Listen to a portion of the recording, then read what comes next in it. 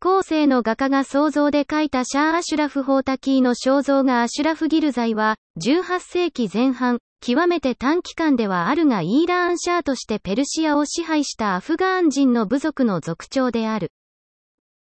なお、名前はギルジー部族の人、アシュラフを意味する。アシュラフは17世紀末か18世紀初頭に、おそらくはカンダハールのあたりで生まれ、ギルザイ部族連合の一種族、宝卓部族の有力家系に属す。アシュラフの父は、1709年にカンダハール地方一帯にホータク部族を中心にした独立政権を打ち立てたミール・ワイス・ハーン・ホータキーの弟、アブドゥル・アズィーズである。したがって、ミール・ワイスはアシュラフにとって叔父にあたり、ミール・ワイスの息子、マフムードやフサインとはいとこ同士の関係になる。ミール・ワイスとアブドゥル・アズィーズから族長の地位を継いだミール・マフムードに従って、アシュラフは、1721年から1722年にかけて行われたサファビー朝への侵攻に参加した。カンダハール軍はサファビー朝の首都、イスファハーンを数ヶ月包囲した後、1722年10月23日に開場させた。シャースルターン夫妻は大尉、イーラーンシャーイをマフムードに譲り、捕虜になった。その一方でアシュラフは、部族内のいざこざに対してマフムードが下した裁定に不満があり、イスファハーンを去ってカンダハール地方に戻り、以後数年をそこで過ごした。1725年に、イスファハーンを占領するカンダハール軍の武将たちが、アシュラフをイスファハーンに呼び戻した。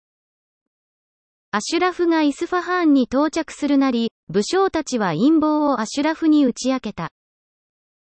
精神的に不安定なマフムードよりもアシュラフの方が、お頭にふさわしい、とのことだった。アシュラフは1725年4月26日にシャーイにつき、帝位を譲ったマフムードは退位後3日目に病死したことになっている。1722年のイスファハーンの陥落直後から、サファビー朝の丘陵では各地で定位請求者が乱立する事態となっていた。また、ペルシアの政治的混乱を好機と捉えたロシア帝国とオスマン帝国も口実をつけてサファビー朝のアーザルバーイジャーン地方やカスピ海南岸などに出兵し、領土を切り取ろうとした。地方の定位請求者らはオスマン帝国の庇護下に入り、サファビー朝の復興を目指したが、アシュラフは、スルターン・フサインからミール・マフムード、そして自らへと正当的に受け継がれたイーラーン・シャーイを持つ者として、定位請求者がオスマン帝国に差し出した領土の返還を主張した。これを罪深い傲慢としたオスマン朝が、アシュラフの政権に対して、1726年に宣戦布告した。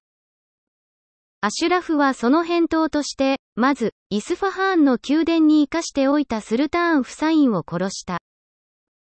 ついでイスファハーンの防備を固めてから北西に軍を進め、ホッラマーバードでオスマン軍と開戦し、勝利した。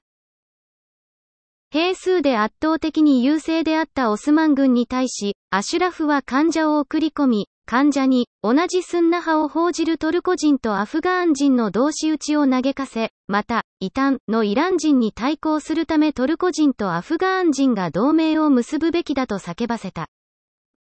この作戦が功を奏し、クルド人騎兵たちが寝返り、オスマン軍の士気も下がった。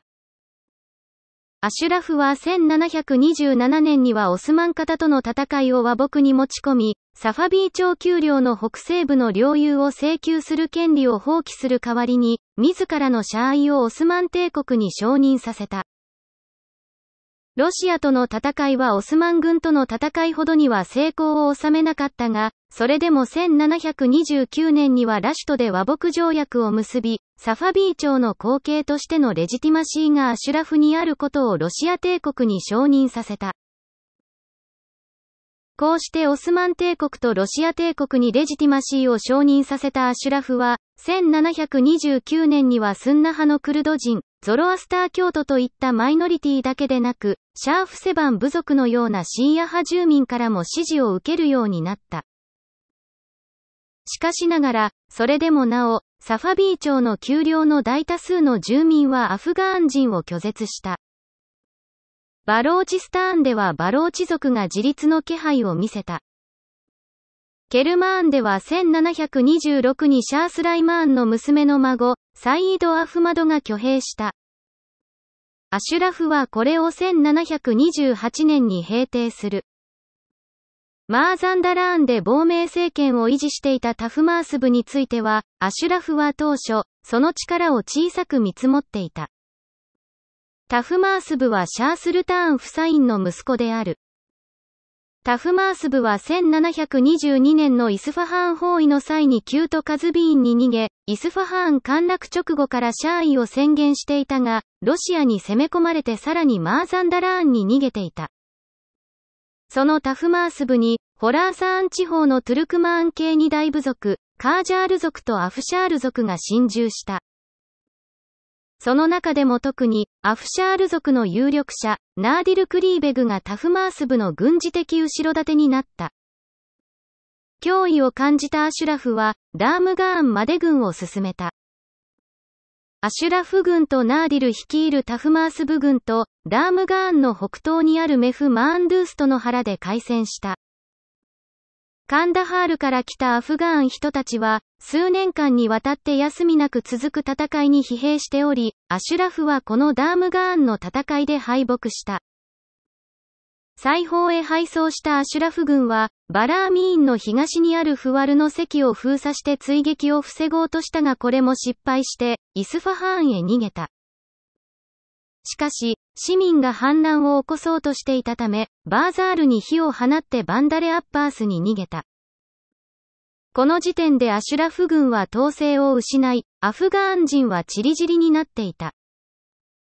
彼らはアラブ人に捕まって売られ、以後の数年間はバハライン地方やマスカト地方あたりでアフガーン人奴隷の姿がよく見られた。アシュラフ・ギルザイ自身は、バンダレ・アッパースからカイロでバスラへ入り、オスマン帝国に庇護を求めて再起を図るつもりであったが、海賊に船を奪われて海を経由した逃走が不可能になった。そのため、陸路、バローチスターンを通ってカンダハール地方へ戻ることにした。アシュラフは1730年の冬に死去するが、E. G. ブラウンは逃走途中でバローチ族に襲われて殺されたのではないかとしている。